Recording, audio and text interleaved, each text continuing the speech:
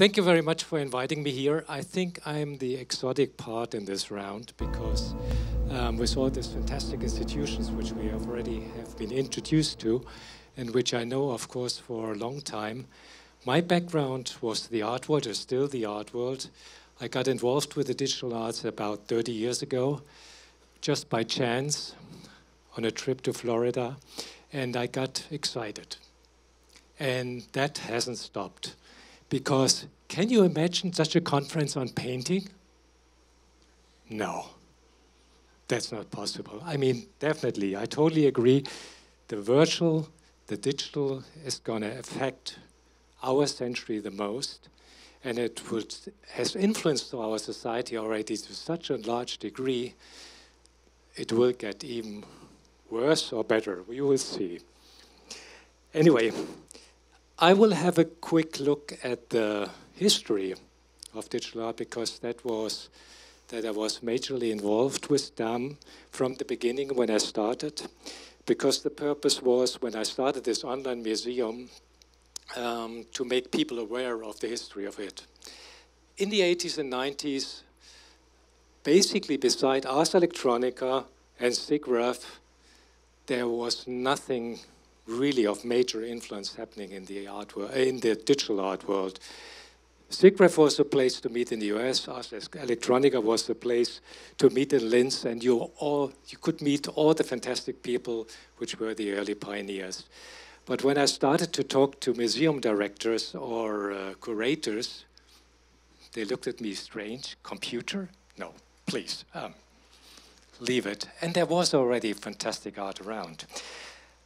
To start with, I will, I'm starting with a quote which I just recently found, which I find very interesting because it has still a lot to do with our times.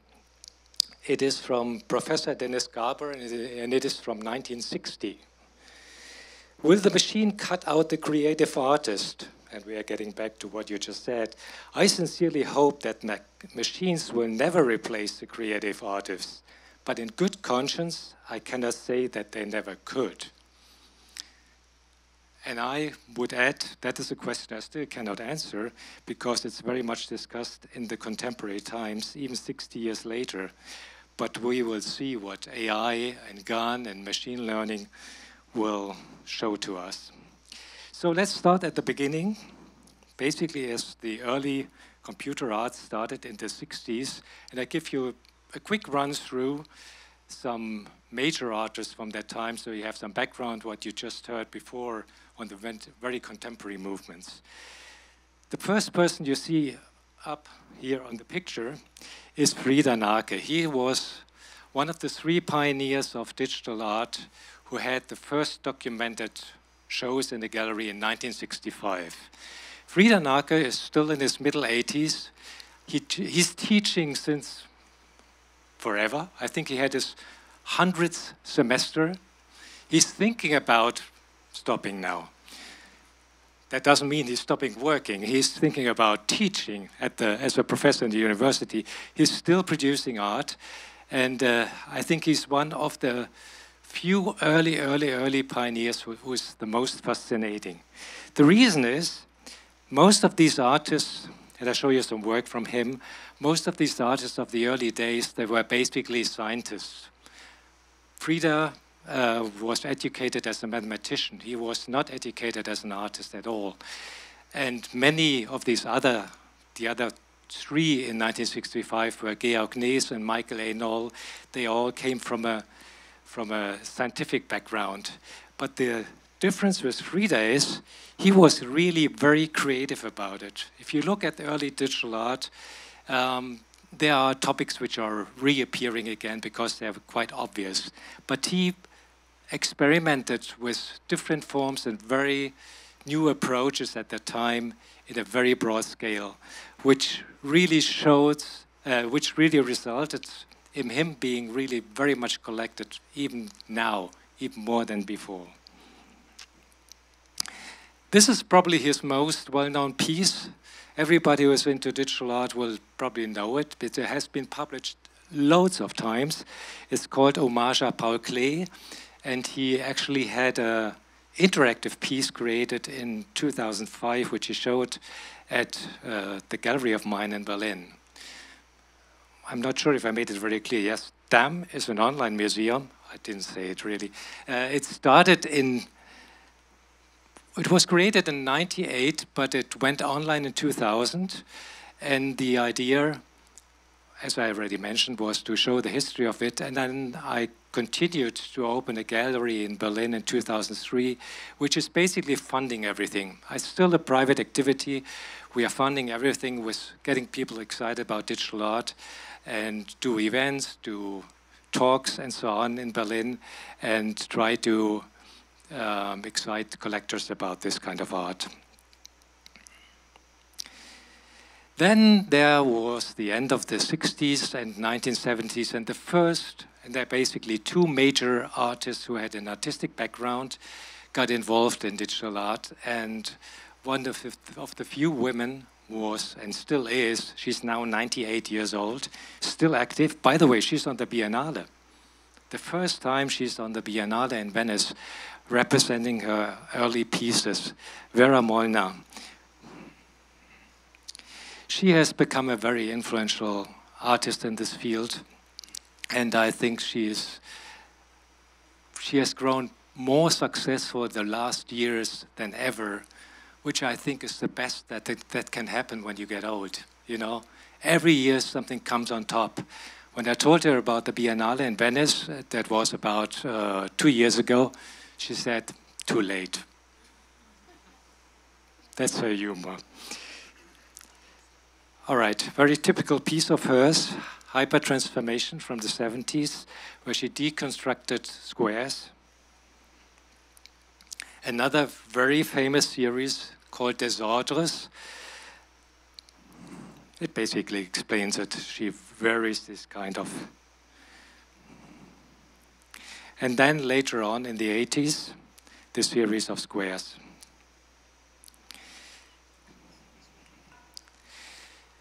The other major artist from that period who had an artistic background is Manfred Mohr. He's 15 years younger than her, but the funny part is they both started in Paris. She came from Hungary, moved to Paris after the war, and lived in Paris. He came, well, he was, he's still German, but he lived in Barcelona at the time, was a musician, a jazz musician, and then he moved to Paris as well.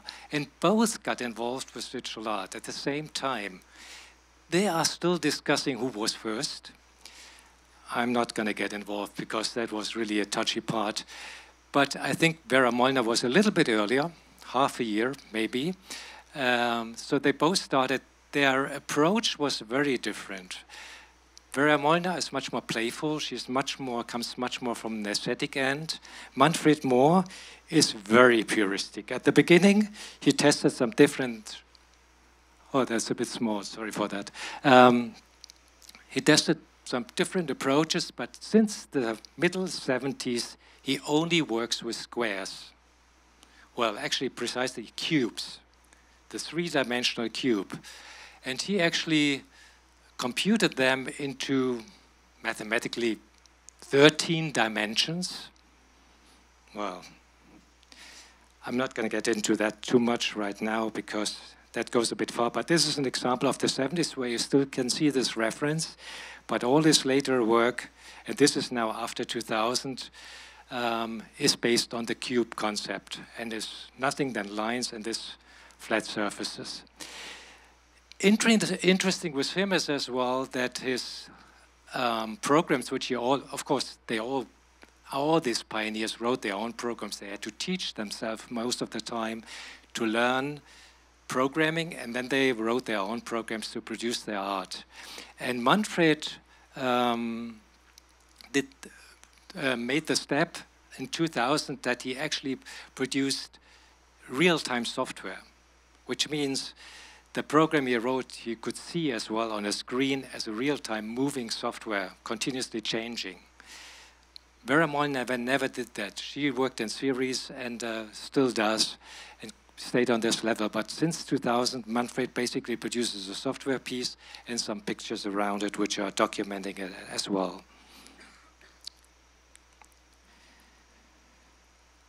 By the way, the crooked lines come from the movement of the square. So you might wonder where that is coming from because that was a new invention by him. Then there are some artists, and I think from my experience, I still discover new artists, but very rarely. But from, there from the first 40 years, there are probably not more than 10 who have really developed a kind of own language and an own aesthetics and been able to pursue that over 30, 40 years.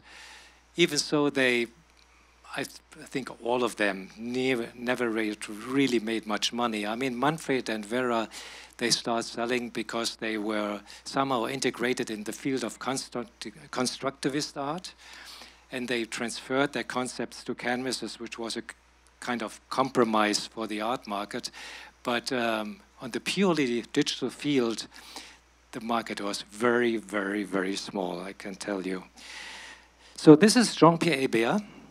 He passed away last year, a very interesting position because he went to the extreme.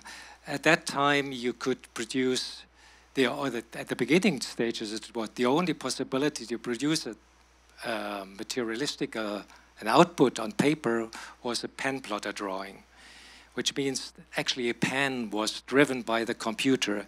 And he went to deliver it and produce this kind of work in a way, it's very, very, very detailed there are larger sizes, and the plotter was running without interruptions for three, four, up to a week. So he had to fill in ink and so on and pursue the, and basically supervise it all this time.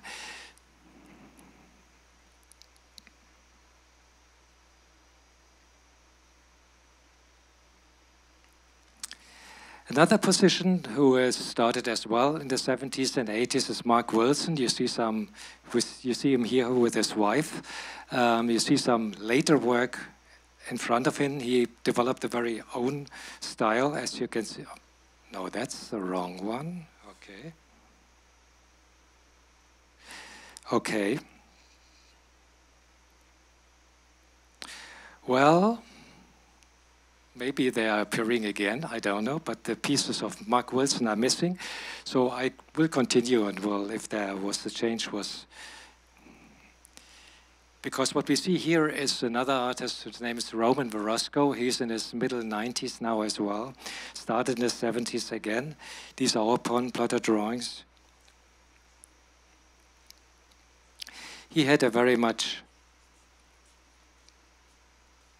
Yeah, that is a bit an unusual approach because he used the pen plotter as well to put brushes in. So with every movement which was programmed, because of what you see as the little black signs, they are, each movement the pen plotter did, all added together would result in this kind of gouache, you would call it. Now I come to an artist um, who is very much different to all the others I talked about. They had all of um, an uh, abstract approach in working with a computer. Harold Cohen had the vision already in the 70s to develop an AI, to develop an artificial intelligence which produces art every day based on his programming so he would come into a studio, and when I met him, that was around 2000, he would come into the studio in the morning, he would check out what the AI, AI has done, sort out the, the pictures which were interesting enough, and delete the others. And he put up this vision that that would continue as well once he would pass away, which he did already some years ago. It actually didn't work. The computer stopped and the program stopped. But um, the other aspect was with him that he had a figurative approach. So these are early drawings from the 80s. You can see it's a totally different aesthetics. And with the shading and so on, he tried to develop a space. He programmed his algorithms in a way that it really could develop into something fig figurative, which he later then resulted in something like that after 2000. Ah, here we go.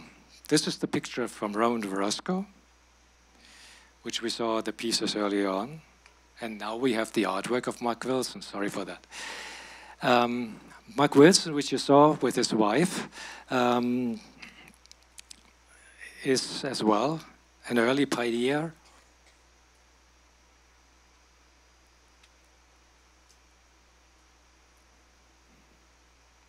Which will, which will, we will show in Berlin uh, in fall. Now we are coming to the so-called net art, which was a very exciting movement, has some parallels to what, when we talk about democratization of art and digital art in the 90s, artists could produce their work without a curator, without a gallerist, without anybody, and put it online and reach their, directly their public, which was really exciting. And uh, there was so much fantastic stuff online. And um, what you see here, is one of the ones artists who get famous at that time who coined the term net art as well. But of course, you couldn't sell this kind of work. It was a website. Which has changed as well. Okay, uh, that was too quick. Okay.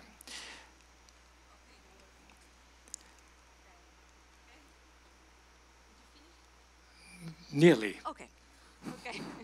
it will not be long. Um, this is an example of JODI. That's a couple which was became famous as well with the net art movement. They produced websites which played with the usual perception of websites. For example, you couldn't handle the mouse anymore. They'd moved around, and uh, the website became totally independent what it produced. Olia Lialina was a famous piece of hers. And then basically, and then I'm coming to the end, um, after 2000, a very influential artist, and uh, that is Casey Reas, who you see here, who has created a lot around software art, and he even developed into movement. He produced his own software language processing in 2000, which is taught all over the world. He has become a very influential artist as well, now with the NFT movement. Thank you very much. Okay, thank you. Thank you, Wolf. Thank you very much. Very, very interesting presentation.